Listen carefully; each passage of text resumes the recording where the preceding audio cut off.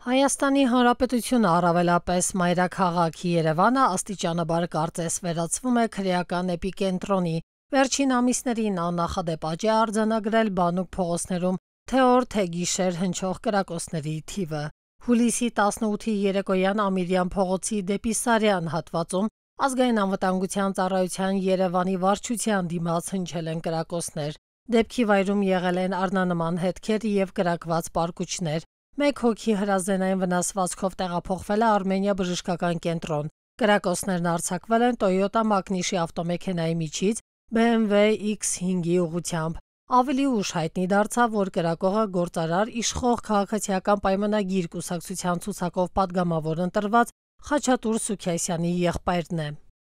51-ամյա Ռոբերտ Սուքիասյանն ու նրա ընկերները ժամը 19-ի սահմաններում Ամիրյան փողոցի վրա կենցաղային հարցերի շուրջ վիճաբանել են երկու քաղաքացու հետ հարվածներ հասցրել միմյանց։ Ռոբերտ Սուքիասյանը իր մոտ եղած հրազենից կրակոցներ է արձակել եւ հրազենային վնասվածք հասցրել իր հետ վիճաբանողներից մեկին, որը Ամերիկայի Միացյալ Նահանգների քաղաքացի է, իսկ մյուս քաղաքացին դանակահարվել է։ Երևանի Ամիրյան փողոցում հուլիսի 18-ին հնչած կրակոցների դեպքի առթիվ հարուցվել է քրեական գործ,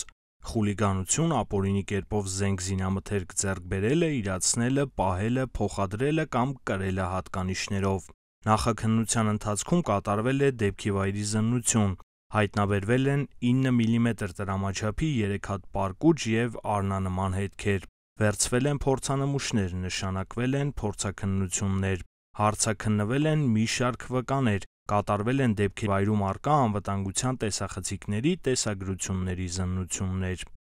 Մեկ ամիս առաջ էլ հունիսի 2-ի առավոտյան կրակոցներ էին հնչել Աբովյան փողոցում Մոսկվա կինոթատրոնի դիմաց, այդ անգամ մահվան ելքով։ Դեպքի վայր մեկնած իրավապահները ճանապարհի երթևեկելի հատվածում հայտնաբերել են տղամարդուդի գլխի շրջանում հրազենային վնասվածքով։ Հրազենային մահացու վիրավորում ստացած անձը Գավառ քաղաքի 50-ամյա բնակիչ էր։ Սպանության վայրում հայտնաբերվել էր սպանվածին պատկանող ռուսական համարանիշներով Toyota Land Cruiser Magnishi ավտոմեքենան, նրա կողքին էլ մեկ այլ ռուսական համարանիշներով Toyota Land Cruiser Magnishi ավտոմեքենա։ Այնուհետև պարզվել էր, որ սպանվածը քրեական հեղինակություն համարվող Արթուր Ասատրյանի Դոն Պիպոյի մտերիմներից է գործարար Ռաֆայել Մարդոյանի, Քյավառցի Ռաֆոյի թիկնապահ Հովանես Վարդանյանը։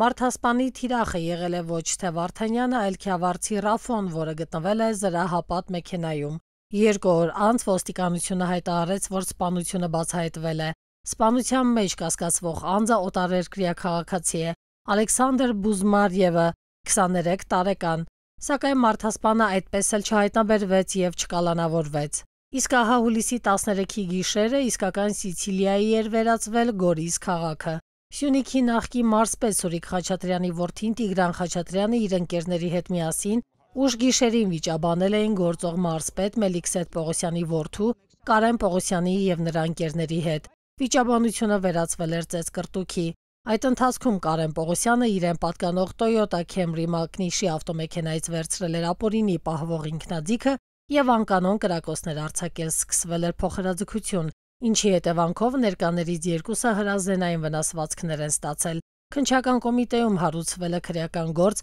մի քանի հոդվածներով դիտավորության առողջությանը ծանր վնաս պատճառելը, ապօրինի կերպով հրազեն պահելը, փոխադրելը կամ կրելը խուլիգանություն։ Այս եւ մնացած կրակոցների փաստով այս պահին որևէ նոր զարգացում չկա։ Հիշեցնենք, որ դեպքերից երկուսով անցնում են գործող պաշտոնյաների հետ փոխկապակցված անձինք։